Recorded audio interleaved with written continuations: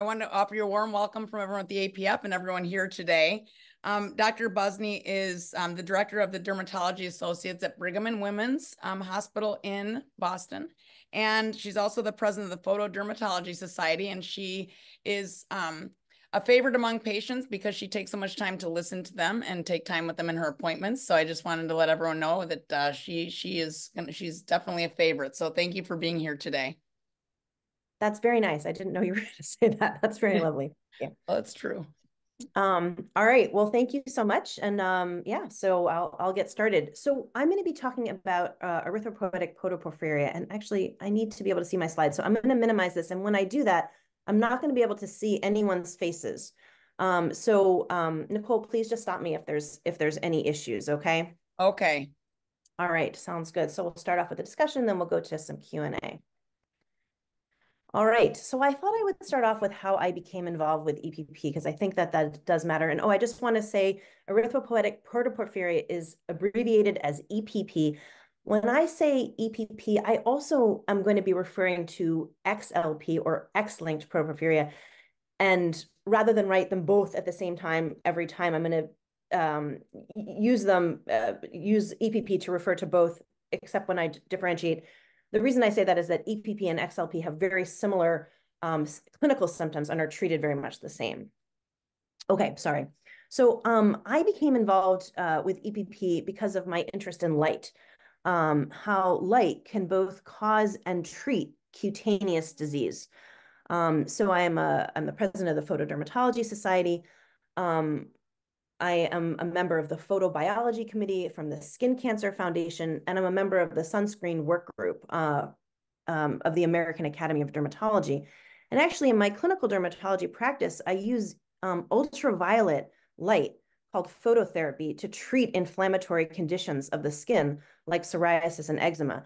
So really both sides of the spectrum, how light can both be harmful and helpful um, to the skin. Um, I am a dermatologist. Uh, I am I am I am not a hepatologist or a hematologist, and I, I just want to to make that clear that I work with incredible uh, colleagues in a multidisciplinary team, um, and and I go to them for a lot of questions which are related uh, to the liver or to the blood. All right, so let's get started. Uh, what are the porphyrias? So the porphyrias are a group of metabolic disorders caused by altered activity of enzymes in the heme biosynthetic pathway. It is very complicated, this pathway, but let's start off with what is heme and why is it important to hemoglobin? Well, hemoglobin is what carries oxygen in our bloodstream from the lungs to the tissues. And a hemoglobin molecule is made up of four heme groups, and here they are, they're in green, which surround a globin group. Um, so this is heme. This is actually what is doing the carrying of the oxygen in the bloodstream, but it circulates in this form of the hemoglobin molecule in the blood. This is the heme molecule itself, and you're going to see this many times. Um, it's ring-shaped, and it contains iron. And the iron's important because it can bind oxygen. So here it is binding oxygen, and that's how it carries it through the bloodstream. How is heme made? Well, heme is synthesized 80% in the bone marrow, daily synthesis of blood of red blood cells. That's all the time. And 20% in the liver for purposes of detoxification. And that responds to changing metabolic needs of the body. There are eight enzymes that form the heme molecule. And each of them, like a factory, here's my little factory down here, convert a substrate into the next step in the heme synthesis pathway. When an enzyme doesn't function correctly, the substrate of the affected enzyme accumulates, meaning the the the uh, the thing that was being fed into the enzyme accumulates uh, when the enzyme can't convert it to the next step. The properties of the accumulated substrate and where it accumulates determine the symptoms of the porphyria. We're going to come back to my little factory in a minute. So this is the incredibly complicated heme biosynthesis pathway. And I'm a very visual person, so I, I need to see things and have a, a visual place to start. So I'm not going to go through all this, but for me, it's very helpful to see that each enzyme in this pathway um, causes a particular or can be can a mutation in that enzyme can cause a particular porphyria. So for example, Um, the heme pathway starts here. I said start. Glycine plus succinyl-CoA is where we start. And then the um, mutation in this particular gene here is what causes X-linked protoporphyria. And we're going to talk about that today. And then we have these different porphyrias as we go along until we get all the way to here. The very last step before the heme molecule is done uh, is, is, a, is a enzyme called ferrochelatase or FECH. And a mutation in this is what causes erythropoietic protoporphyria. So seven of the eight porphyrias, so we have eight porphyrias here, they're all in yellow, um, are caused by gene mutation. And actually, the exception to this, which I won't go into in detail, is porphyria cutanea tarda, which is actually caused by an acquired inhibitor, which reduces the enzyme activity. Um, some people do have a genetic defect um, as a predisposing factor, but it's, it's more of an acquired problem with the enzyme rather than a gene mutation, as opposed to the other porphyrias. So there are four hepatic porphyrias. Um, and these are primarily uh, liver related. Um, they have acute on uh, acute symptoms, um, often with uh, neurological symptoms, uh, incredible visceral pain. And I've circled them here. And again, we're not going to talk about them. There's two of these that do have cutaneous symptoms, and that is uh, variegate porphyria uh, greater than hereditary coproporphyria. Um, so these are um, considered to be hepatic porphyrias, but they also do have blistering um, rashes as well. There are three blistering cutaneous porphyrias. Those are uh, congenital erythropoietic protoporphyria. Again, we're not going to talk about it today. Um, this is porphyria cutanea tarda. We talked about a little bit already. Um, HCP, the hereditary coproporphyria, um, and then a little bit variegate porphyria. These are the blistering cutaneous porphyrias. And then last, we get into this here, which is the two non-blistering acute cutaneous porphyrias. And that's where I'm going to spend time talking today. And these are EPP, as we've talked about, and XLP. Um, and their mutations in these two enzymes here, FECH and ALAS2. Okay, so I'll start with a little bit of an introduction um, to EPP. Um, it's a rare genetically inherited condition. Its prevalence is about 1 to 140,000. That's a conservative estimate. Males and females are equally affected. Um, and actually, it was interesting. It was it was first documented in 1926, and then it was first identified as EPP in 1961. And I think this is cool. This is the original article, uh, a new por a new porphyria syndrome, um, erythropoietic protoporphyria in 1961. So what is the genetic cause of EPP? As we already mentioned, it's mutation in ferrochelatase, the last step in the heme synthesis pathway. What does the FECH enzyme do? It converts protoporphyrin 9 into heme by inserting iron. And in EPP, residual or what's left FECH activity is typically around 35% of normal. FECH deficiency results in accumulation of protoporphyrin 9. So here we are, and again, I'm very visual. So here we are, uh, here's the enzyme, and we're crossing out ferrochelatase, and you can imagine if you cannot convert ferrochelatase to heme, you are gonna accumulate protoporphyrin 9. And in my little factory example, um, here are all the workers and they're getting boxes and they're doing different things with the boxes and then they're and then they're passing them along. And in in the in this particular example, the, the worker here is is is deficient. they're not able to keep up um, with the uh, with the business of of the factory. And so because of that, the boxes accumulate behind them. And that's how you get the accumulation of protoporphyrin 9. It's interesting, uh, sorry, so we'll, we'll, we'll move on to this slide here. So how do we test for EPP? Uh, and I mean this specifically for EPP, not XLP. So the enzyme FECH also adds zinc to the small amount of protoporphyrin that normally remains after heme synthesis. So when there's low FECH activity, we see accumulation of protoporphyrin produ produced by bone marrow reticulocytes that lack iron or other metals, particularly zinc. So this is called metal-free protoporphyrin.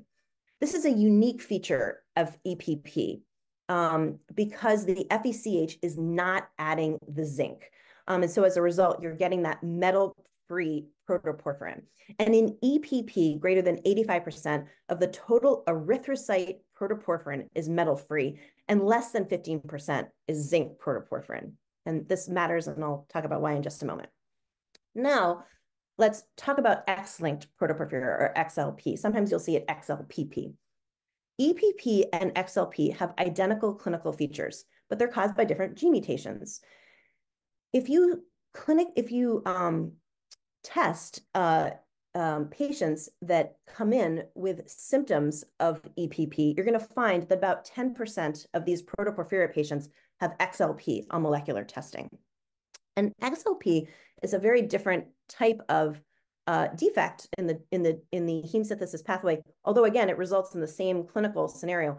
It's actually a gain of function mutation in ALAS2, which is the first step in the heme synthesis pathway. It's very different. Too much protoporphyrin is made in the bone marrow. And so it's making so much protoporphyrin that it overwhelms the FECH enzyme at the end of the pathway. And then you get that accumulation of the protoporphyrin 9. So here you're just sending so much protoporphyrin through the pathway that then it overwhelms this enzyme and you get an elevation in protoporphyrin 9. Again, the same, um, the same uh, clinical scenario.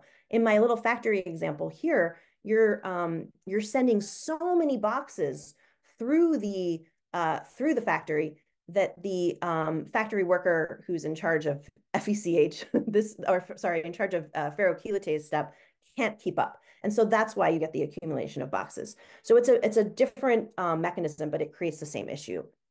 So um, this is how we can test um, on the lab in the laboratory for XLP, for X-linked protoporphyria.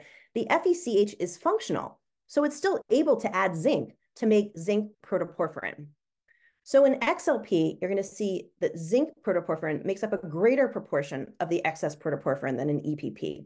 But still, the metal-free protoporphyrin still predominates because you're exceeding the FECH capacity so much. So in contrast to EPP, only 15 to 50% of erythrocyte protoporphyrin is zinc protoporphyrin. Um, this is an algorithm, um, and Nicole, I don't know if these slides will be published or available, but I, I think it's nice for, for, for people to have access to a, a diagnostic algorithm, algorithm, which starts with um, uh, looking, you have to test the total erythrocyte porphyrins, and you find that they're increased to about often three times normal. And when you break these down, these erythrocyte um, porphyrins, you see that they're mostly metal-free protoporphyrin. And then you look at the proportion of the zinc protoporphyrin to distinguish EPP versus XLP. And then, of course, you can also do gene sequencing, which would be the FECH gene or the ALAS2 gene. Um, these tests are very specialized, and these are typically um, send out labs, this is in the United States, to Mayo or to UTMB.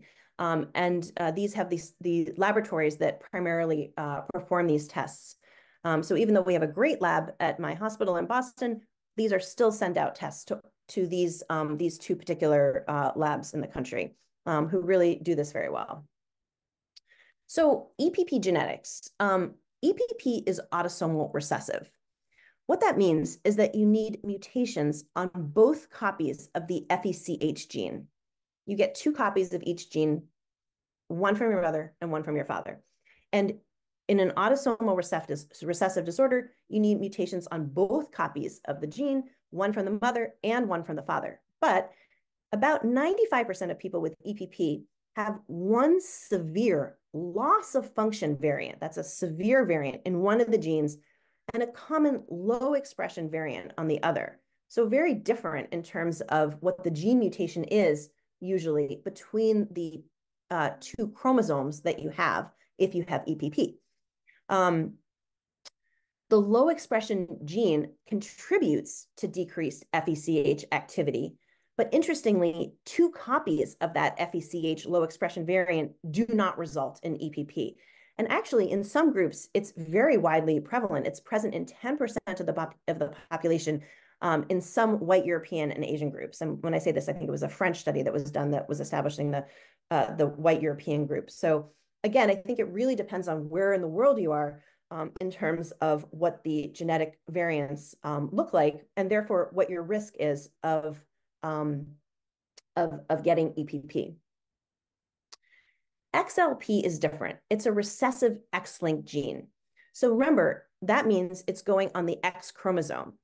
In males, there is, males get an X from the mother and a Y from the father. Uh, and uh, females get one X from the mother, one X from the father. But in males, there is no backup second copy since they only have one X chromosome. So XLP is more commonly seen in males, but girls can be uh, just as affected actually by XLP um, if the backup copy on the other X chromosome is turned off due to a process called lyonization, which is basically that um, for any gene uh, on the X chromosome for, for, for girls usually have one that's predominating over the other on the other chromosome. So even though this is XLP is more commonly seen in males, girls can still be just as affected by XLP, depending on how their um, how their uh, uh, gene expression um, um, has has come out. And I, I put this in just in case there were questions, but I'm going to skip it and we're going to move on. Um, okay, so what does the accumulation of protoporphyrin 9 do? How does it cause symptoms? And I just wanted to start off because I think this is just amazing to, to show you these two structures. Now, we already looked at the structure for porphyrin, right? We, we saw it, it looks like this. This is the iron, it's going to bind to the oxygen. Look at this molecule. This is chlorophyll. Chlorophyll is found in plants. I am no molecular biologist or botanist or anything, but they look very similar to me. And so, and they are very similar. And chlorophyll actually um, uh, um, uh, has a relationship with light in plants. It allows them to grow by attracting light, and porphyrin is exactly the same. So protoporphyrin 9, just like chlorophyll, absorbs visible light. Um, and it does this especially in the blue-violet range, which has a name called the SORET band. Um, so I'm just going to show this over here. This is a, an electronic absorption spectrum of a typical porphyrin showing a peak at 400 to 410 nanometers. And here it is. And you can see this here. This is our wavelength in nanometers. And I'm about to show a lot of these pictures. So it's worth familiarizing yourself. This is the absorbance of the light. And then this is the wavelength going up in nanometers. And here we are at 400 to 410, which is our SORET band. Now, this is in the blue violet range, but you can also see there are a couple little bumps um, as we go further out into the visible range. And I'll show that in just a minute. So what does this mean? So when the protoporphyrin 9 absorbs visible light, it excites an orbital electron, which reacts with oxygen. And this generates reactive oxygen species, which are bad. Reactive oxygen species can lead to damage to the cells of the blood vessel wall called the endothelium. And this is thought to be the main target of damage in um, EPP slash XLP. Um, so in addition, reactive oxygen species can lead to immune activation through something called complement, leaky blood vessels, allergic type reaction. I'm sorry, I have a typo here that should say mast cells, uh, scar formation through fibroblasts, and the reaction is generally proportional to the duration of the light exposure. So this brings us to why we have symptoms, sunlight-induced symptoms with EPP and XLP. Um, so what are the symptoms? EPP typically presents in childhood, and generally it's constant throughout life. Even brief seconds to minutes exposure to sunlight can cause a flare. And for some, depending on the severity of the issue, even indoor light can cause a flare. There is typically a prodrome with itching and tingling first, and then this leads to severe burning pain.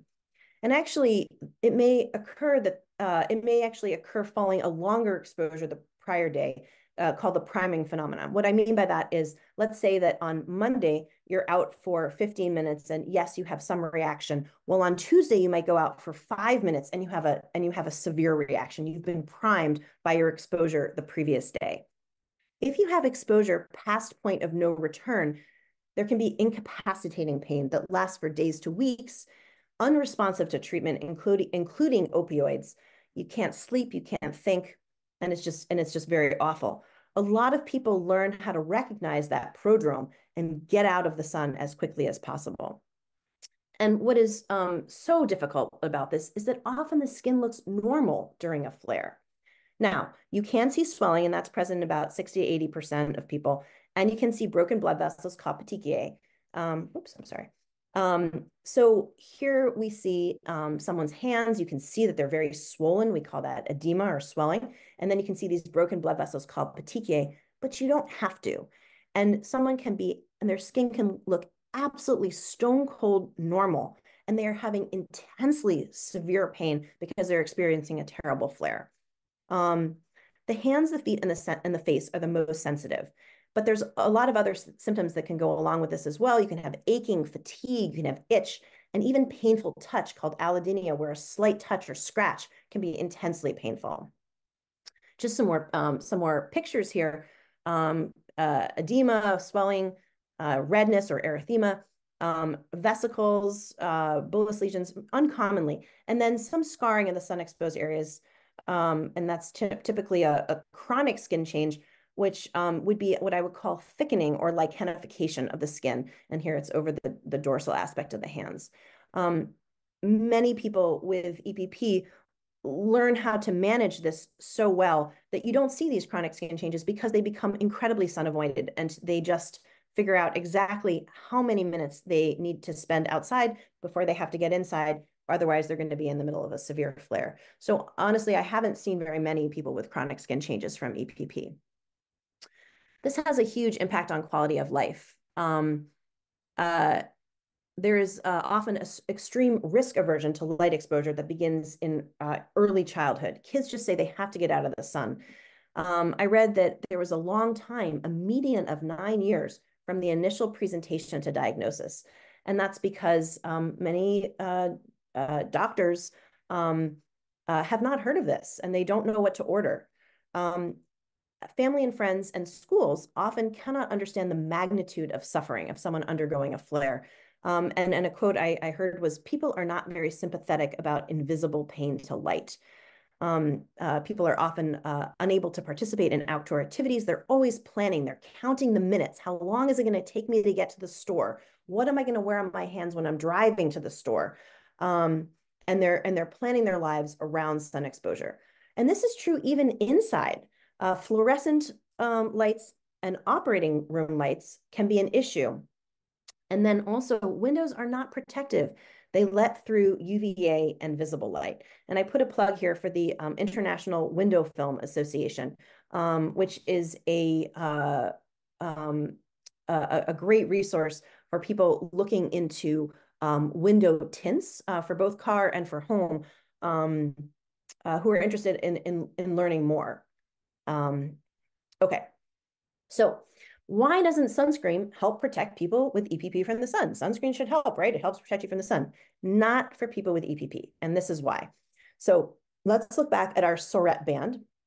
And here the peak again is 410 nanometers. And I would say that it's extending from, you know, maybe around 370, 380 here up to like 420 nanometers. Now, this is this is something that I look at all the time, but this is this is the this is the UV spec. This is the um the the, the light spectrum coming from all light, uh, all electromagnetic uh, wavelengths. Um, so here we are in this is the ultraviolet spectrum, right? We have UVC, then we have UVB, and we have UVA. This is where your sunscreen's all focused here, UVB and UVA, and I'll show that in just a second. And then here next to it, you have visible light, which is what allows us to see and this is where we have problems um, with protoporphyrin. So here's that SORET band, peak 410, right? And here it is right at that um, violet blue portion of the visible spectrum with those little tiny bands, doop de doop de doop, right here um, uh, at, at around 500, 550, 600, uh, 650, um, going through the visible spectrum. But the biggest one is definitely in the blue light um, realm. Now, why doesn't sunscreen help? Well, these are the longest range chemical sunscreens on the market.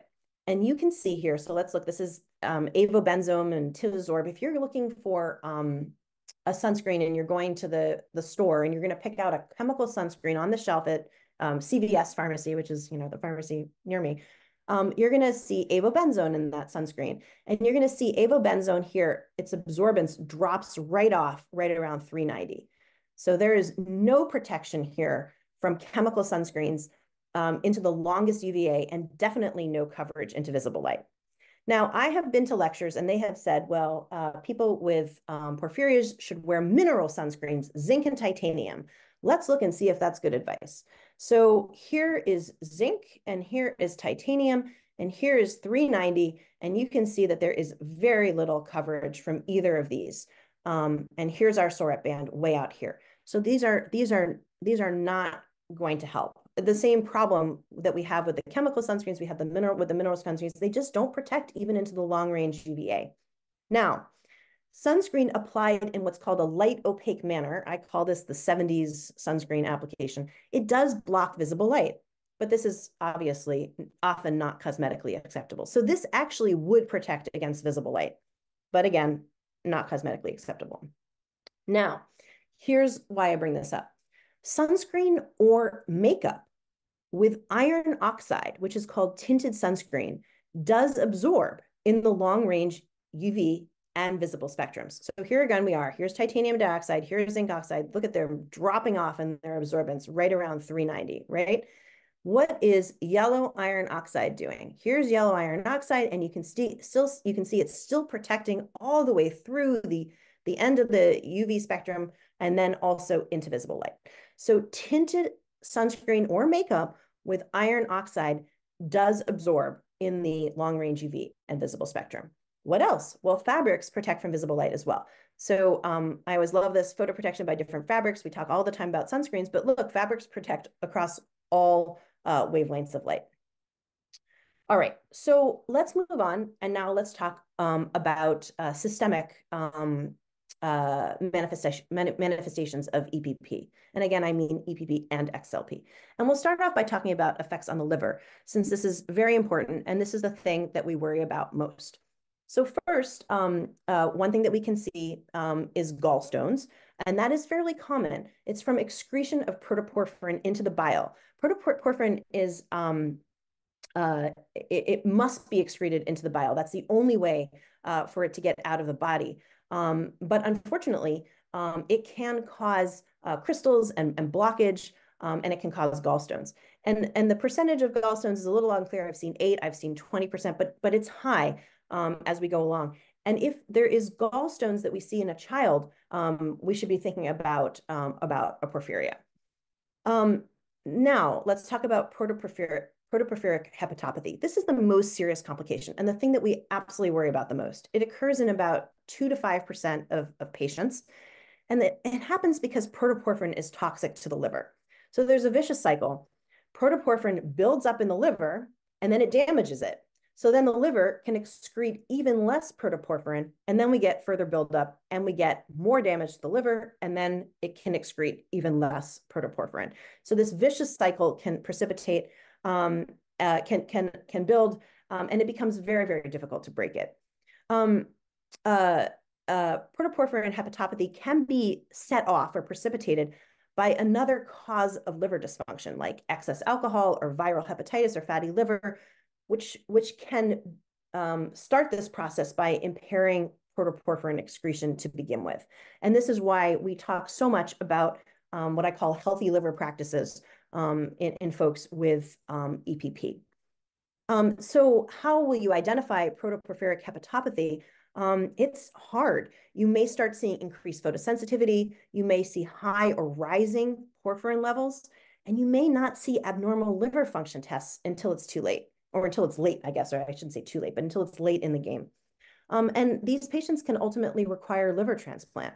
But remember that liver transplant does not cure EPP. Um, they may still need bone marrow transplant since the problem is really the bone marrow. What are the other systemic complications of EPP? Um, uh, vitamin, vitamin D deficiency and osteoporosis. Um, this is due to sun avoidance, not due to anything regarding the EPP itself, but definitely due to sun avoidance up to 46% of patients in one study, and we do recommend vitamin D supplementation. And then what about anemia? Uh, this is a tricky one, um, often seen in EPP and XLP. Uh, one study showed 37% of patients have anemia, but generally this is not that clinically significant. And it's really unclear um, what's driving this. If it's the excess, if the excess protoporphyrin is actually down regulating iron absorption, or whether this just represents redistribution of iron stores. And then also very rarely you can see peripheral neuropathy um, in someone with a very severe um, presentation of, of EPP and, and particularly usually with a, with a liver issue, uh, severe liver issues as well. So how do we manage um, patients with EPP? Well, first we counsel regarding limiting light exposure, as I've just talked about. Um, what else do we do? We, we minimize risk to the liver. We talk about um, uh, minimizing alcohol, uh, reducing risk for fatty liver, exercising, maintaining a healthy weight. We talk about minimizing risk to, hepat of, to hepatitis, viral hepatitis.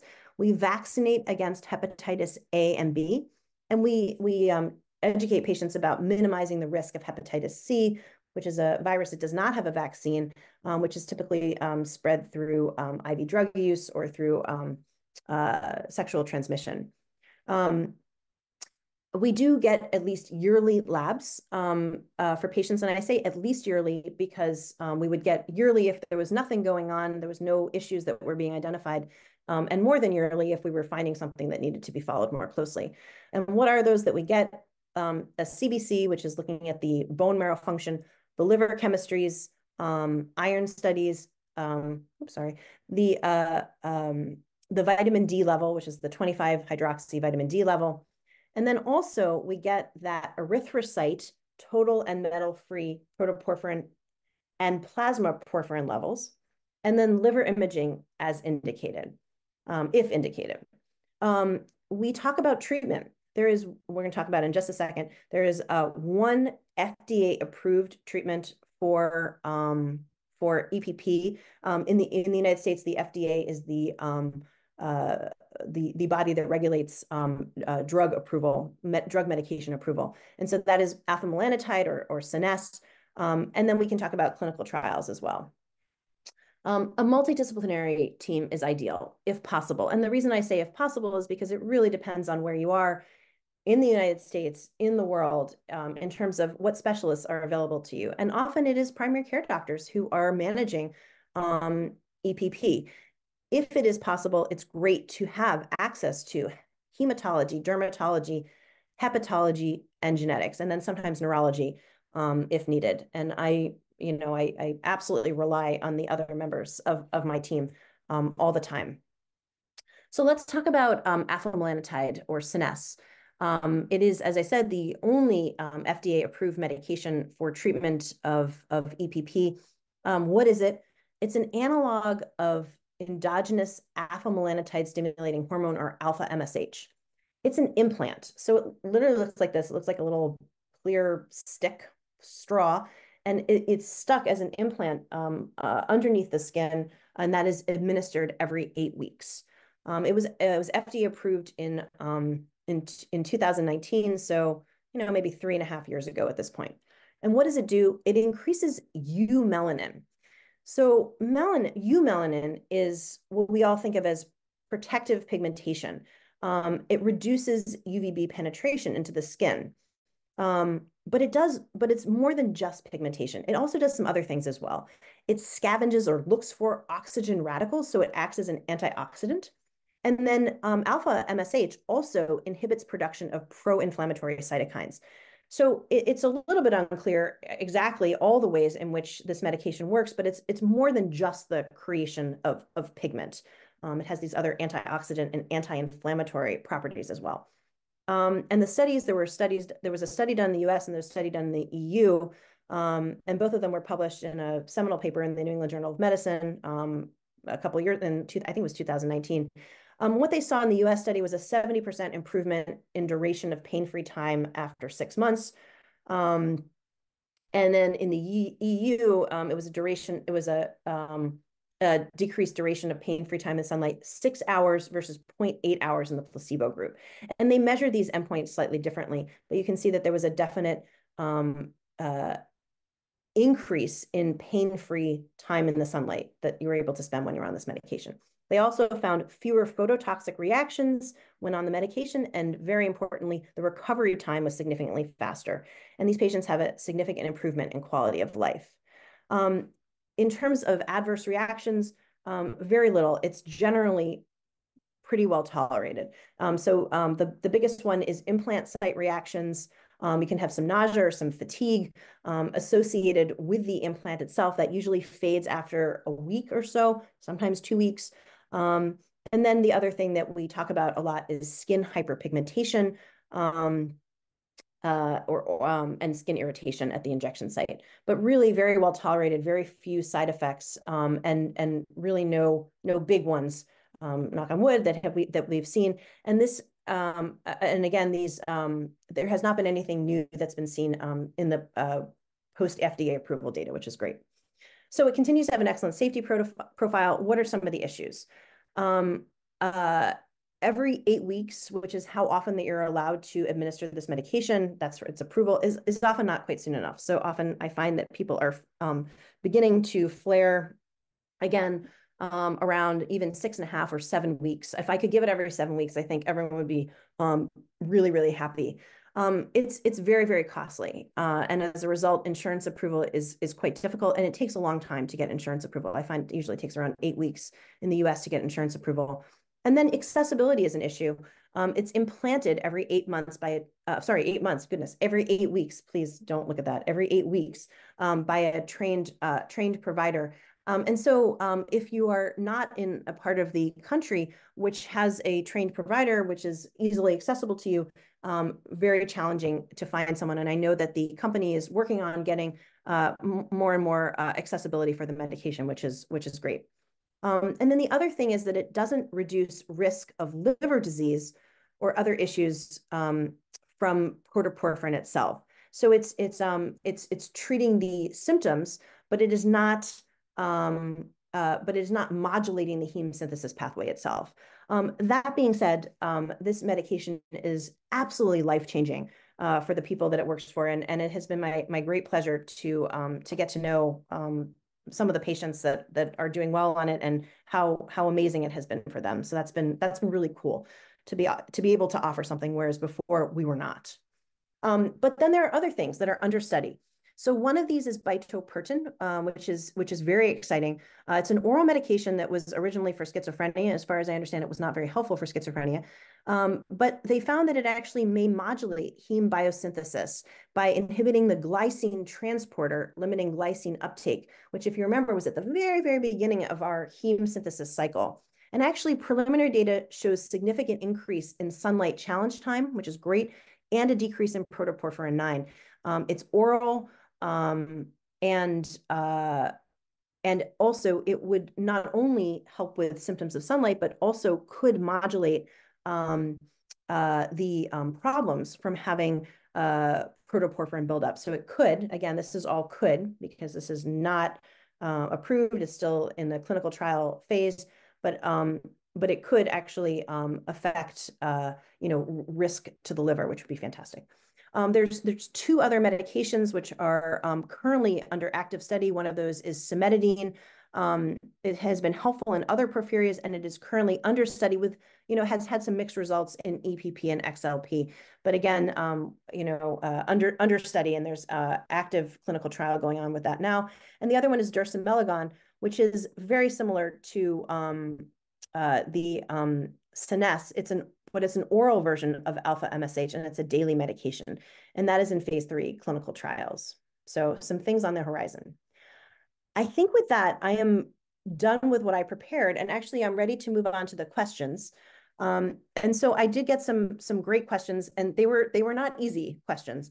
Um, and so I, I, I, listed a couple of them here. I tried to group some of them that I thought were um, kind of similar and put them together. So we'll start off by addressing those, and then we can take any other questions that there are. So one is, is bone density something to be concerned about, and how should it be monitored? And the answer is yes, this is concern if there is a history of vitamin D deficiency, which is why it's so important to be monitoring that vitamin D. Um, we do need to check that vitamin D level at least yearly. We need to supplement with vitamin D3. Um, and it is absolutely appropriate to screen for um, bone density in someone who has had uh, vitamin D, uh, vitamin D deficiency, or may have other risk factors um, that could contribute to osteoporosis. So absolutely yes, and I would totally bring that to the primary care doctor um, as, as, something to do.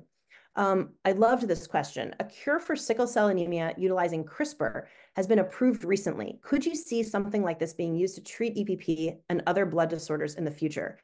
And I thought this was fantastic. Yes, absolutely. How amazing would that be? CRISPR is a brand new tool. Actually, it's not super brand new. It's um, I think it came around again until like 2019, but it's but it's being used and discovered more and more in terms of what it can do. And it allows for gene editing. Uh, I've heard it described as molecular scissors, where you can literally correct a gene um, uh, through this molecular editing technique through RNA. So that would be absolutely amazing. I mean, there are so many genetic diseases um, that I would love to see this applied to. That would truly um, revolutionize uh, this. Um, all of these um, porphyrias would be absolutely amazing. So I, I love that question, and I hope somebody's working on that. That'd be great. Um, okay, should EPP patients? These were some liver liver questions here. Should EPP patients avoid over-the-counter medications that are metabolized by the liver, such as acetaminophen? Is there a list available anywhere of over-the-counter meds that would generally be considered safe? So um, I would say no. Um, what we usually do is general liver protection strategies. Again, diet, low alcohol intake, all of those things that we talked about before. But I've never seen anyone recommend any medications to avoid preventatively, and that's unlike the hepatic porphyrias. But I would also add that if there is someone who has active liver disease or damage that's going on, then this would absolutely change. So I think that I would answer this question as no in someone who has had no issues with their liver. Um, uh, but I would answer it quite differently um, if, if, there, if there was an active issue that was going on. Um, if you're regularly having your blood work checked about once a year, should you have a routine ultrasound of your liver to check for damage? So again, I would say this depends on your particular situation. We typically do not do routine ultrasounds if there's no history of liver abnormality or increasing porphyrins, there's no risk to the liver. Um, so no risk factors at all. I, I have not seen uh, routine liver ultrasounds done. Um, but I have a very low threshold to refer to hepatology um, because again, this is the thing that we cannot miss, should not miss, um, and and uh, and and you know keeps me up at night about EPP. So low threshold to refer to hepatology for any concerns about about liver liver related issues. Oh, this one was tricky. How can EPP patients best manage low iron levels? This I found hard. And actually, I, I, I think I have to say in the end that I, I I'm, I'm not the best person to answer this. So I would have to ask a ask an, another another expert. Um, but I would say, uh, uh, uh, I would say to start off by answering this question, it depends on the clinical situation. Is there also anemia in addition to low iron? And then is the anemia clinically significant? Remembering that a lot of these patients, a lot of patients with EPP and XLP have anemia, but it doesn't seem to be clinically significant. So, um, and, and the reason that this is tricky is that it's, is that it's discussed whether iron could be harmful or helpful. So it's thought, okay, so it may upregulate protoporphyrin production, which could be potentially harmful, or it could increase FECH stability, which could be potentially helpful. Um, and this is why I found it very difficult to answer this question. And in, in EPPs, reports have suggested that iron may actually increase protoporphyrin and light sensitivity, but this seems to be transient, whereas an XLP iron supplementation may be beneficial. So again, that's a hard one, and I think it depends on your on your particular situation. And that is all I had. So I'm going to just move on to that slide and then I'm going to stop sharing and then I'll be able to see all of your faces again, which will be nice. Okay. Thanks. well, thank you. That was absolutely wonderful. I learned so I, I, learned more than I've ever learned about EPP. I loved your your factory and the plant analogy. It made so much sense. I was like, wow, I, I had no idea. That was really great. And I think you touched on something that's really important about how people are people and schools and family are not as sympathetic to this pain from invis you know this invisible pain you know from light. So it's it's we, we talk to patients every day and um, with all types of porphyria but especially cutaneous like epp and xlp it is just it's just so hard. It's it's it's so hard to live with it in the first place and then to deal with all that. So thanks for for bringing that up. It's so important there's another, there's, does anyone have any questions they want to put in the chat? For Dr. Buzney, I think we've got a couple more minutes that she can answer a couple more. Now, there's one in here that says, why does Clinuvel only allow dermatologists to give Scenesse rather than also allowing porphyria doctors to give it? I feel that um, I don't know but I think that other doctors do are able to give it. So I don't think it's just dermatologists, but I that I would defer to you. I know that there are other doctors that that do give it who are not who are not just dermatologists, and I think that it um just you know I I, I don't know how folks are chosen often. It's There people who- are, Yes, yes. Okay, good. there, All right, great. sorry, Desiree, yes, there are other, there are hematologists um, and other doctors, so. Thank you. Right. And then let's see. Oh, someone asked if the slide shall be emailed. We are gonna, we are recording, so we will, we will, re- we'll send out the link for the recording so you can have the slideshow.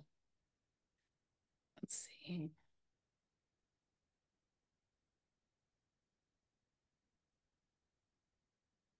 Dr. Buzney, I'll let you pick, pick which ones that you Oh, I should be. answer. If you, can you see it? I I can read them Oh, you. yes. Sorry, I wasn't. I wasn't looking. Oh, no, no, that's okay. Is there an alternative to Scenesse? Well, I mean, I think this this gets to what I was talking about with these up and coming treatments, and um, you know, again, I think I feel like Scenesse just revolutionized this this world back in 2019, but we still have so far to go in terms of how many questions we have about um, porphyrias, and then also um, and also treating. So again, I, I have great hopes for um, the uh, the the strategies that are currently in in, in clinical trials now. But no, there is no FDA approved alternative to Scenesse right now. Um, blah, blah, blah. oh, oh, what is the most effective pain relief drug in your experience? Mm, you're asking the wrong person. I'm so sorry. I do not, I do not prescribe um, opioids, and so I don't know. I, I, I just, I wouldn't even start to hazard a guess on that one. So I apologize. Um, as a VP patient, Oh goodness. All right, seeing a second opinion urgently. Yes, this sounds that sounds terrible and absolutely it sounds like you you should be evaluated. I hope that there's some place that you can go to um with a maybe a porphyria center in your in your area. Um Yeah, Anra, you can, if you want to contact the APF, we can definitely help get you to get, uh, you know, recommend a doctor and stuff. And, uh, you can, uh, uh, just look on our website. You can email us at general at porphyriafoundation.org or just give us a call.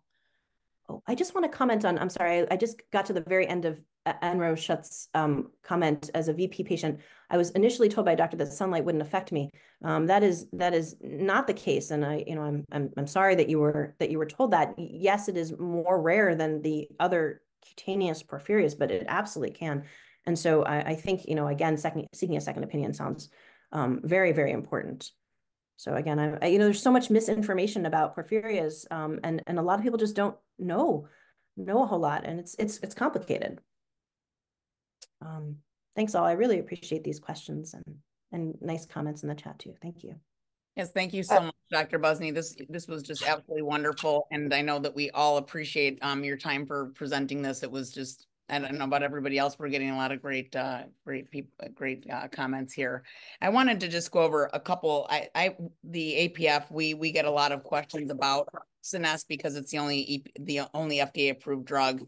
Um, and I just wanted to go over a couple questions that we also got for, for this, um, for this, uh, this Zoom today. So um, a lot of people have asked, how, how do I start? How do I start to get Scenesse? And you, if you go to Scenesse.com, you can, um, you can register and you get an ID and then you can get a bunch of information. You can um, follow the instructions for that.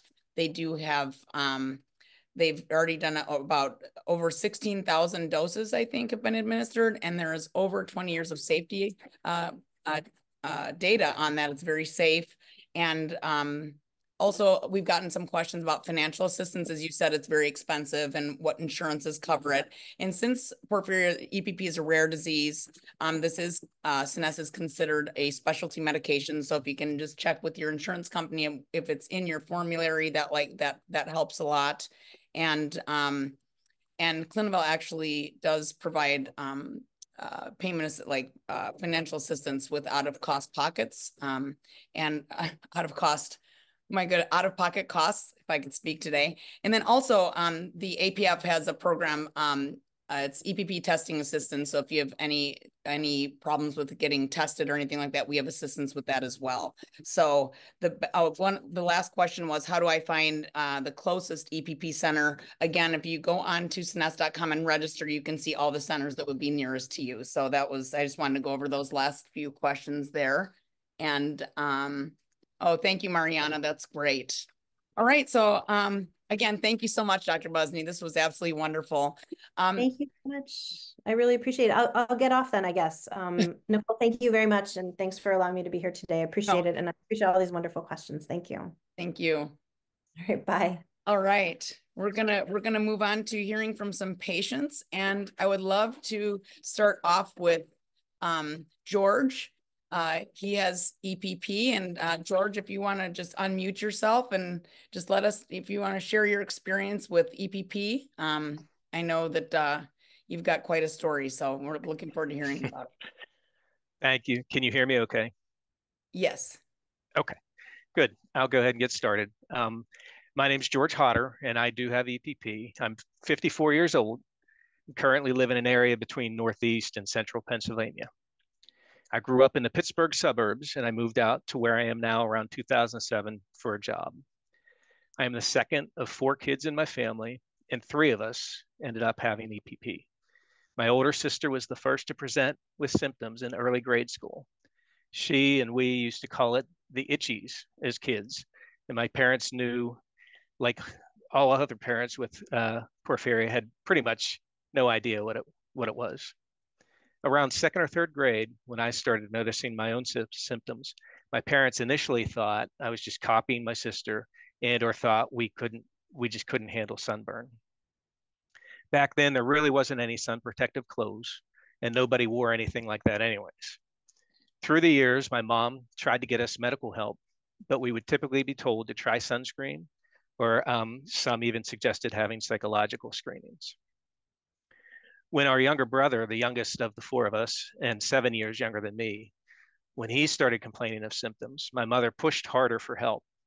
She was able to get us a referral for a der dermatologist, and this was back in the HMO days of insurance when you couldn't just go to specialists. Our dermatologist was newer, and when we presented our symptoms, she, she suspected porphyria right away. She tested us by taking skin core samples, and all three of us tested positive. We were so happy to finally have a name for the condition and some hope, and then heard next that there wasn't a cure. This was when I was about in eighth grade. We started treatment with beta carotene tablets, which we were all very excited about. However, the quantities we had to take and the minimal effectiveness quickly changed our minds.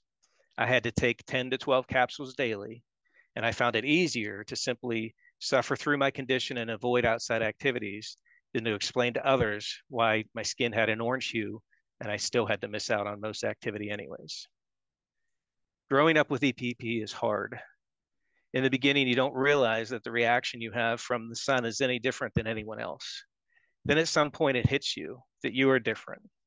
Nobody really understands, be it our parents, our friends, our friends' parents, doctors, coaches, teachers.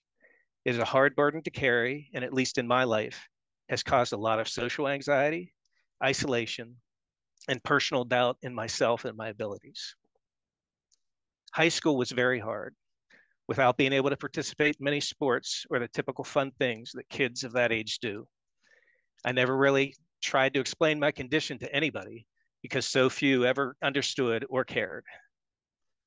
As a man, it was hard because you're seen as weak soft, or any other number of slurs from your peers when you can't do certain things, like playing sports or helping with outdoor work and projects. In my mid 20s, I took up mountain biking as an activity. I found over the years that my legs took longer to get any reaction, so riding in shorts was usually okay, so long as the day was not too sunny, and I kept my rides around an hour. I really enjoyed being able to be outdoors doing an activity, but I was still very limited in how often I could ride each week and couldn't be out long when I did. I also learned of a company called Solumbra and their clothing for sun sensitive individuals. I bought a few items and found them very effective. I would use them for times that I would have to socialize outdoors for jobs or for other activities where skipping out just wasn't an option. It was a glimmer of hope that maybe things would get better. Relationships were never easy either. The vast majority of women I met did not want a guy who had outdoor limitations. I had relationships end because of my inability to vacation here or there or go to picnics or parties outdoors. As this happened more and more often, my confidence in believing anything would ever work out for me dwindled. Right around the time that I believed I would forever be a bachelor, I met Tammy, who would become my wife. When we met, she was going through some bad situations and was very open with sharing that with me. This helped me feel comfortable to share the details of my condition early on as well. And to my surprise, she did not run away. She's a good egg. Married since 2004, we now have two children that both have been tested and are negative, but do carry the gene, of course. Tammy has been a great support and has been very understanding of my limitations over the years.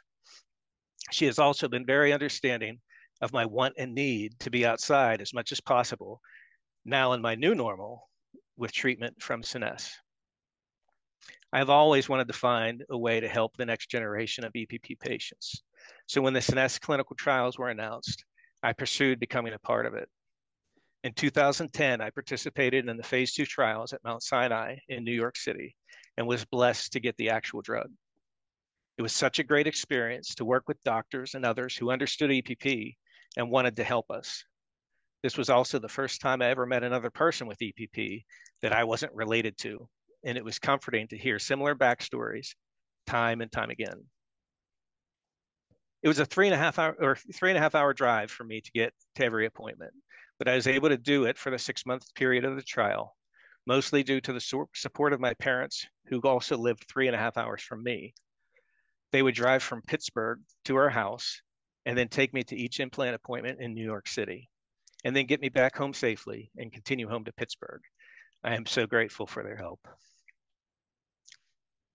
It was very hard to try to go outside and test the drug, especially knowing, not knowing if I had it or a placebo. Late in the trial, I finally worked to push myself past my comfort zone and was amazed by the results. I could be outside pretty much without limitations, regardless of the intensity of the sun, and it was amazing. After the trial, I worked to help get the drug approved. The tr this treatment just had to be available for everyone with EPP. So I joined the committee put together by Desiree and the APF to accelerate its approval. I did what I could to help, having my family, friends, my kids write letters to Congress and the FDA on my behalf, and also helped with other activities to assist in approval. I didn't think it would ever be approved, but I was so glad when it was in 2019. This year, 2024, I will be starting my fourth year of treatment with Scenesse, and it has been life changing. In that time, I have kept up on outdoor chores, regardless of weather, and can even mow my lawn without a shirt. I'll save you guys all the the embarrassment of that. If it's hot enough, it's it's great though. Eh, I took my first vacation at the beach where I could actually be on the beach like anyone else. I can drive any time of day in any direction without cowering in whatever shade I can find in the car. Scenesse is not foolproof. I still can have reactions, but when I do, I find they are a bit easier to bear and recovery is faster. So I typically keep protective clothing around if I plan for longer endeavors outside. I got more seriously into cycling and ride my bike nearly four to six days a week, totaling eight to 12 hours over that time, massively more than I could ever do pre Scenesse. This April, I will be starting my fourth year in a mountain bike race series that includes 11 races across the states of Pennsylvania, New Jersey, Maryland, and Delaware. Over these years, I've advanced my riding skills and I am now racing at the highest amateur level available. I designed an APF jersey for racing, and this will be my second year wearing it. I wear it proudly to spread awareness for all porphyrias and to thank those who helped me get to this point in my life. Pre Scenesse, I used to do a race here or there for fun, but I was never competitive, typically finishing in the bottom third of the pack. But now that I can train as much as anyone else, I compete in a higher class and I do fairly well. I never believed there would be an effective treatment in my lifetime.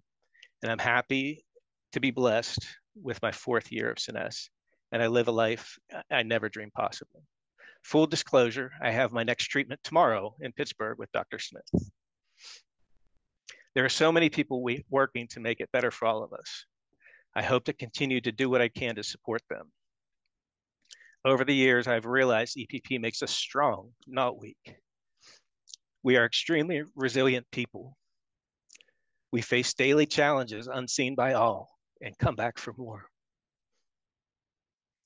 I believe EPP has also given us a strong sense of empathy for others.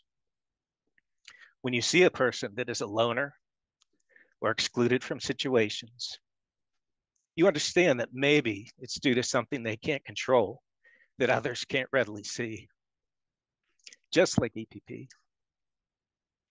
So tap into that empathy, kindness, and understanding, and be the light that person may need to have a better day. We need that so badly in today's world. Lastly, keep your hope alive. The relief that you think you may not ever, that may never be possible, could become a reality in your lifetime. So much has changed for the better in my life, thanks to the work of others. I encourage you to do your best, to do your part, to make an impact for the next generation for those with EPP. Thank you for this time tonight, Nicole and everybody. And thanks to all who helped me on my journey, and God bless. Oh my God, George. Um, that was wonderful. Thank you for being so vulnerable and sharing. That was just I mean, you really gave me a feeling, and I'm sure everyone on the call of, of what it's like, and, and most are patients, so you know. So thank you so much. And George, uh, thank you also for being on our member advisory board and and uh, always always lending a helping hand to the APF. We always appreciate it, and and uh, you've taught me so much about EPP. So thank you so much. You're welcome. Thank you um, for giving me this opportunity. Try not to cry. I was too. It was not easy. you did great. Thank you so much. Um, next, we're going to hear from uh, Carly and Kim. Carly has EPP and Kim is her mother and uh, she's her caregiver. And I am really looking forward to hearing from you guys. Um, let me see if you guys can, can you unmute yourselves? Hello, Kim and Carly, welcome. Hi, can you hear us? yes, we can. Trying First to not cry here. It's not fair behind George. Come on now, that's not fair. I know. Wow. Uh, I'm Carly, by the way. Um, and I'm, I'm the mom. If you couldn't tell, I know we look like we're sisters, but so um, we have a little checklist of things that we wanted to talk to you about, but they're not as going to be as well said as how George said his story. And, you know, I don't know if they'll make you cry or not. But, um, you know, we have a lot in common with George's story. And then we have a few things that are a little bit different. And oh, there's the and dog, the dog. you said might bark. And so of course, of course. It doesn't look cute. Yeah, she sounds like she's quiet the whole time. Oh my gosh, seriously. Oh, Callie, Callie, stop. Sorry. Um, so um, our journey started uh, when Carly was three and uh, we were at a t-ball game for her older sister. And we were sitting on a uh, we were going to have lunch so we were sitting on a blanket at a park. And normally the kids wouldn't take their shoes and socks off, off a lot. I just was kind of neurotic about that. I don't know you know what that was about because i was barefoot forever and ever as a kid. But so maybe Carly's feet hadn't been exposed out to the sun except for this first time. And um, she was a very quiet, is a very quiet um, daughter of mine. I'm the opposite. And um, she went crazy on that blanket. She was screaming. She said, Mom, I don't remember that. I just remember I what you told it. me. But I thought she had been bitten by a hundred bugs that I thought, okay, uh, you know, a swarm of X had gotten onto her, or killer ants, or something had gotten to her feet because she was screaming so loudly. So um, we ended up getting her out of that situation, not knowing what it was at all. Um, and eventually getting, well, not eventually, it was actually pretty soon because I'm pretty pushy about things. we got to um, to a doctor.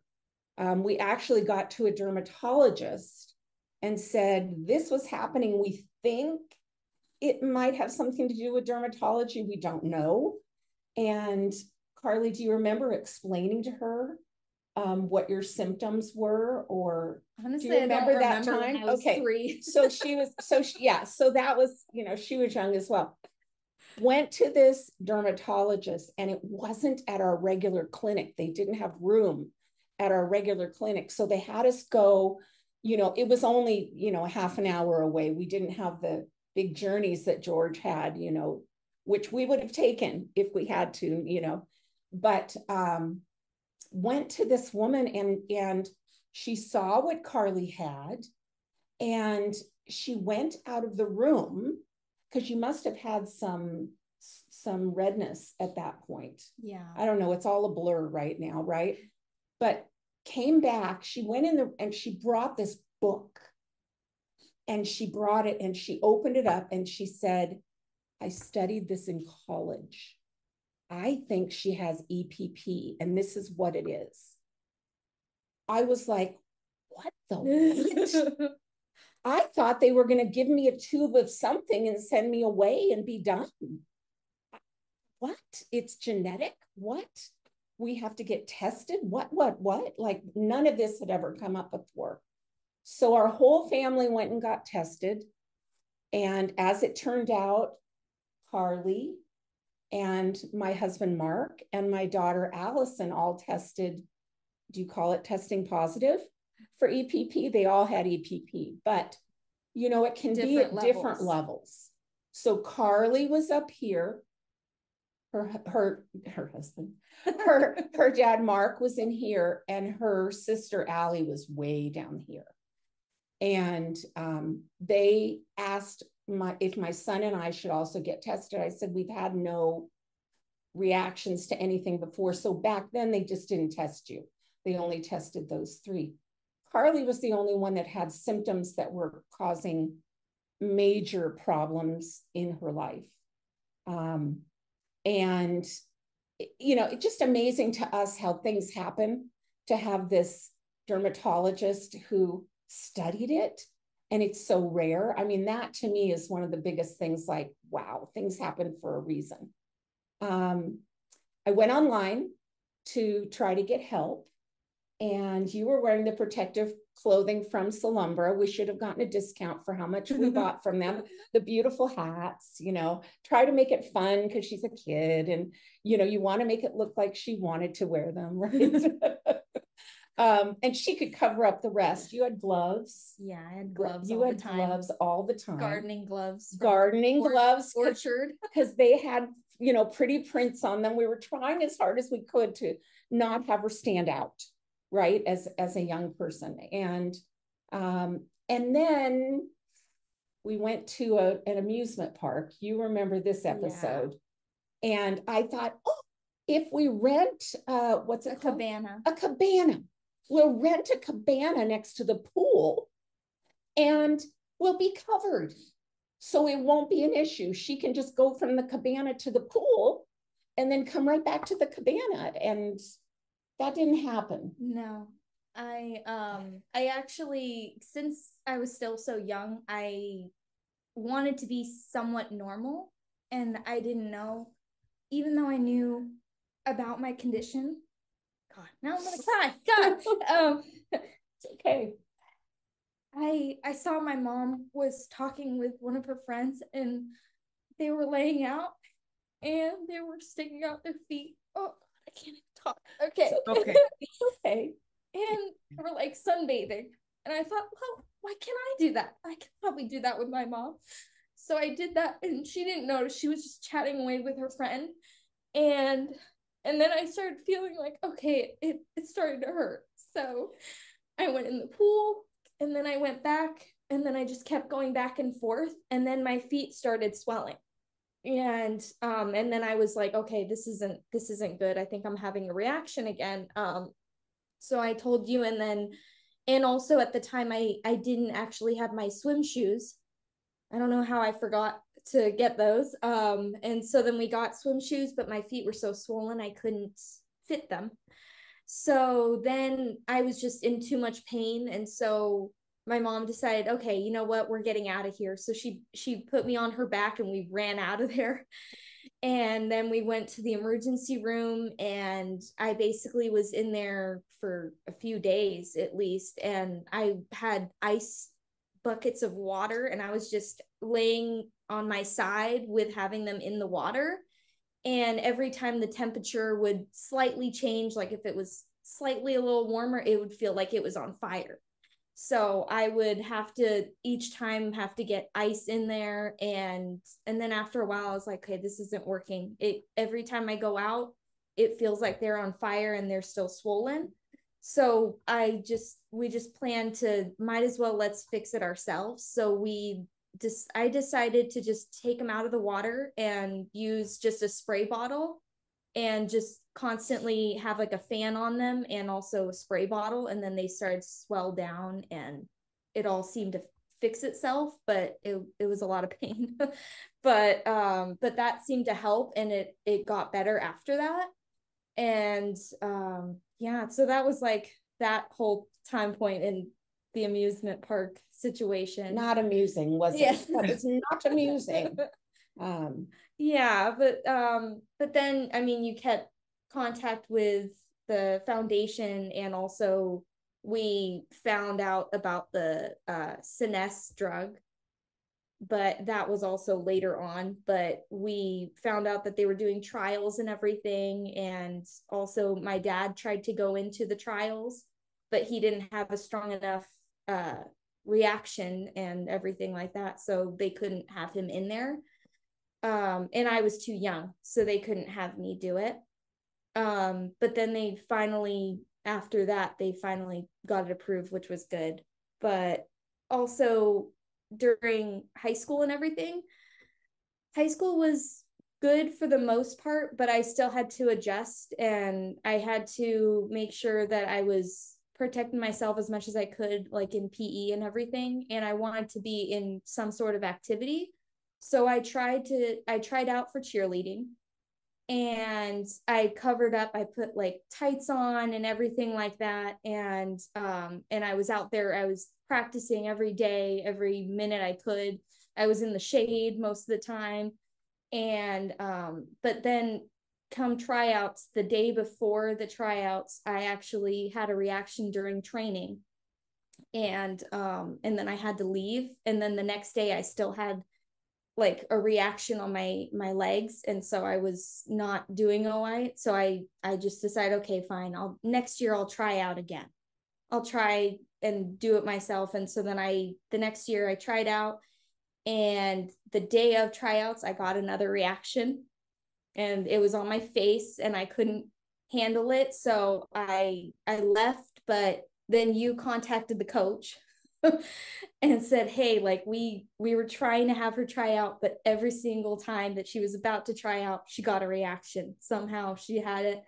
And she was great. She she was like oh i remember her. I remember her trying out and she was trying so hard and she was practicing every single minute so we can have her in there and we'll have her in varsity.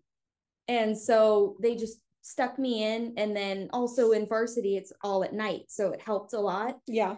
and and then every day i was practicing practicing practicing make sure i was on it for everything. And uh, that helped out a lot and that seemed to help out and i was i made sure i was at least covered as much as i could. I wore jackets and everything like that that they had and i made sure that i was practicing mostly in the shade um and then after that then then the Scenesse injection came in and it was approved and In Australia. in australia yeah no it was australia first Great. Let's. We're in California, by the way. yeah we were in california so we were like well we'll probably not go there but we'll probably try to then um then they said that it was going to be in like la Yeah. right Los Angeles, Yeah. Southern California. We're in Northern California. Yeah, and but then they actually finally said that okay, we can get it over here in, in Santa Clara, which is right next to us. And the dermatologist that I connected with, she actually like learned it and she she was so invested and like tried to make sure that she knew like exactly what it was for and everything like that. And she was really like intrigued by the condition and everything. And she's been awesome. She every time that i come in she's like oh yeah there's there was maybe another person that might be getting it too soon but you're really the first one that i've ever gotten it done and so uh she was great yeah so that's that's basically the main portion of it but um How, yeah how did you like Scenesse? Like changes between oh yeah not being on it and being on it? honestly my reactions are in just immensely better I, if i go out i can feel like uh, i can be out there for maybe 15 minutes and i can maybe feel like some kind of reaction and then it goes away in like five minutes when i come back in inside and everything it's it's like maybe five minutes maybe less and it just goes away. If i don't think about it it'll just go away. Yeah. and it never used to be like that. It used to be like hours and hours sometimes a couple days that i would have that reaction still there. So it's definitely helped. It's It- been life changing. yeah. Like now i, I can have flip-flops and stuff and it, it feels normal. Yeah, that's pretty much it. Yeah. yeah That's the story. There it is. Wow, Carly, uh, well, first of all, Kim, being pushy, I think is sometimes what it takes, right? To, With- Don't with- tell my husband that though. with the but I rare still disease. am Look- pushy. it's a we'll keep it between us. No, but, um, my mom, I have a different type of porphyria, but my mom was relentless and kept going. So sometimes that's just what it takes. And I think we can probably all um connect with with that. And um and I just keep thinking, what if you hadn't have gone to that other dermatologist? It was just uh, someone said it was serendipitous and then it totally yeah yeah. And um and uh just Carly, thank you for sharing like how everything changed and that I- it I it sounds like it's made you um all that that persistence of trying out for cheerleading that just sounds like it really like you you've really got a lot of determination and persistence so I think like George said too sometimes these from my mom yeah I think George had a lot of the same similarities because he knew what he wanted to do. He wanted to be outside. Mhm. Carly knew what she wanted to be. She wanted to be out there cheerleading. And you want that for someone, yeah you know, even though maybe the world says, wait a minute, if she does this, this is going to happen. Don't do it. Right. But you're going to push for it. You really, really wanted it. You Yeah. did it anyway, and that's a big thing. And a lot of us porphyria patients, we we don't feel well. We we know that we're overdoing or something, but we we want to feel normal and we do it anyway. So that that was just absolutely wonderful. Thank you so much, both of you, for sharing. That was just oh, thank you. Gonna make you cry Good stuff. I know. Oh, I- you guys are. I should not have put makeup on today. I think. Life Um, changing. is life changing. Oh, I'm so glad. I'm so glad that you're able to feel more. So do you, are, are you still in high school, Carly? Or are you in going to, what are you doing no now? No, I'm i'm 26 now She's so she's not under my care anymore, by the way. She has moved out of the house and yeah, there they there you go. That's so- great. That's wonderful. I'm so glad that that was life changing for you. Just, it's just, it's, it, your story is very inspiring. Thank you so, Oh. both of you so much for, for Nicole. sharing with us. Yes, George. Nicole, if I could just add one thing for Yes. Carly too, this just um, for me, I found that a lot of the pre-indications of reaction are really learned, and it's and with Scenesse, I started to kind of try to push past that to see how I would feel, and I, I found that I I wouldn't have a reaction, but I mean, still to this day, three and a half, four years in, if it's a really hot day, like the hair on my arms will stand up and my mind will be telling me get out get out get out and i just try to take a breath calm myself down and stay a bit and eh, do it with caution of course because i you know i don't know your situation but i found as i slowly pushed further and further that it really wasn't a reaction it was just my learned response to certain types of heat and certain types of sun so you know I'd give it a shot and see if maybe that's the case too, especially since they're going away so quickly when you go inside. Um, it was the first thing I thought of, and maybe that can help you get a little bit more out of it. Yeah, I have noticed that um, when I have a reaction, I I realize I'm like, oh, it's it might just be in my head that I'm feeling it.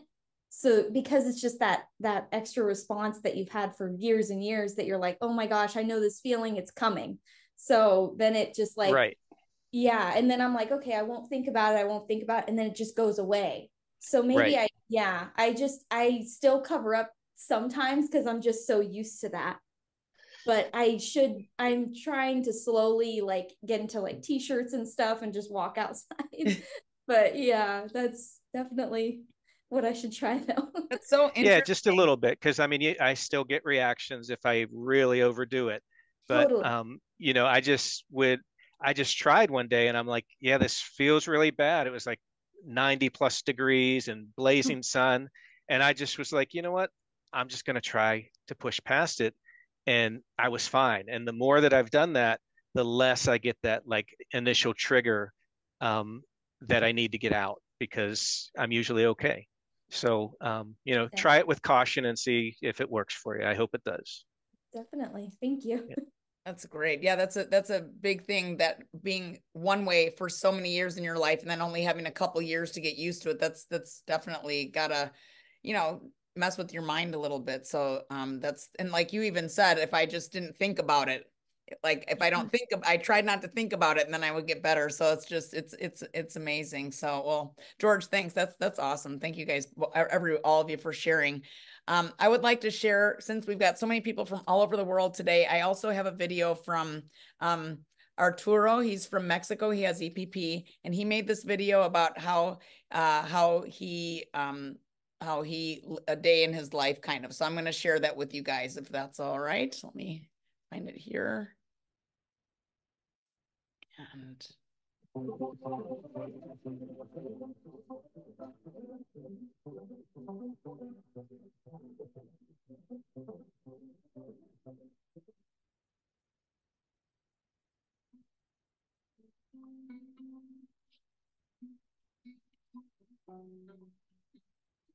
I invite you to get to know what a day in my life is like living with erythropoietic protoporphyria, EPP, and the challenges I face.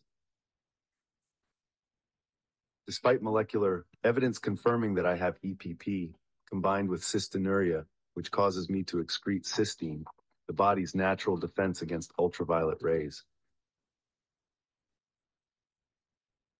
This disorder causes me a lot of abdominal pain, as if a red hot iron were piercing through me, leaving a burning coal inside.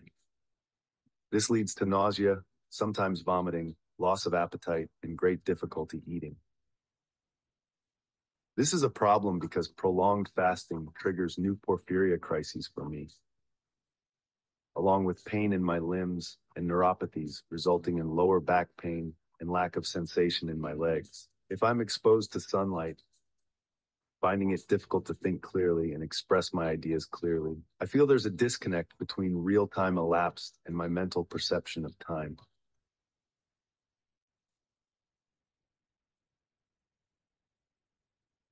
Additionally, it causes severe migraines, occasional absences and seizures, intense itching all over my body, very painful mouth ulcers, dizziness, episodes of constipation or diarrhea, and extreme fatigue. My family says I become very aggressive and I'm highly sensitive to loud noises. My living space must be completely dark, as even a sliver of sunlight reaching my eyes feels like a stabbing pain triggering migraines. If I intend to watch TV, I have to set it to the darkest mode and wear dark glasses to tolerate the light. I have to use double blackout curtains to block out all light. The first images of the video depict my sanctuary in darkness. To enter the bathroom, I must plan it out carefully, as it's quite a challenge for me, being exposed to sunlight. If I'm exposed to light, I have to wear my UV filtered clothing, gloves, hat, and of course, my dark glasses. I show the UV filtered clothing, my long sleeved shirt, also a long sleeved undershirt, glasses, hat, and gloves, as well as sunscreen for my entire body, also with UV protection.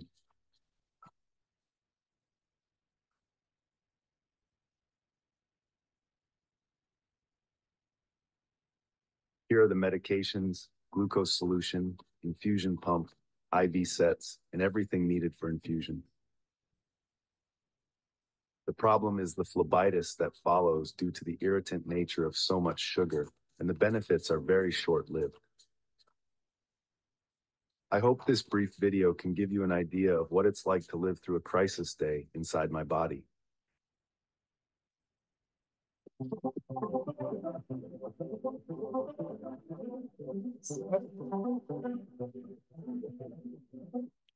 All right, so I just wanted to show it's a little bit different. Uh, now Arturo lives in Mexico and he is does not have um, uh, have uh, access to uh, or anything like that to to help him with it. So he has a bit different of a story. But um, I just wanted to show that because um, uh, the president of the Mexican uh, Porphyria Society had had shared that with us, and uh, I thought that was kind of interesting. So um, next, I would like to, we have, uh, we're presenting this together with the Canadian Association for Porphyrias, and we have the president of uh, CAP, uh, Michelle Capon, and she is an EPP patient as well, and she's going to share uh, her story with us. So, Michelle, if you can unmute yourself and. Hi, Nicole. Hello. Uh, so, first of all, hi, everyone. Uh, I'm Michelle. I'm the Canadian Association for Porphyria president, and I'm also an EPP patient. Nicole, thank you so much for uh, hosting this. I've learned so much. As an EPP patient, I still learn uh, about my disease, my disorder uh, daily. And you know what? It's so nice to meet people um, who have EPP. Um, I have a very, very similar uh, story to George. So you may have seen me chuckling a little bit. Uh, but I also, I think I went through the four stages of emotion, like happy, sad, you know, you almost had me in tears, George. I was like, oh no, I have to get a tissue. um, but I was about 12 when I was diagnosed with EPP.